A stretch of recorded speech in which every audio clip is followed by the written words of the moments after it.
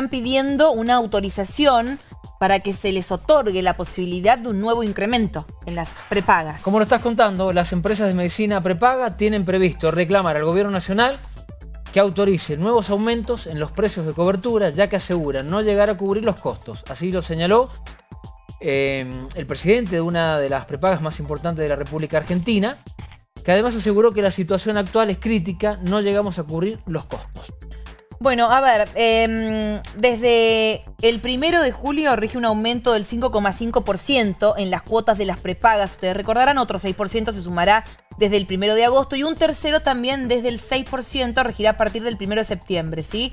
Este 17,5% total es complementario y acumulativo de aquel que fuera aprobado el 29 de marzo del 2019 cuando se autorizó un incremento del 7,5% desde el 1 de mayo. Así para septiembre el aumento acumulado en los cuatro tramos será del 26,3%.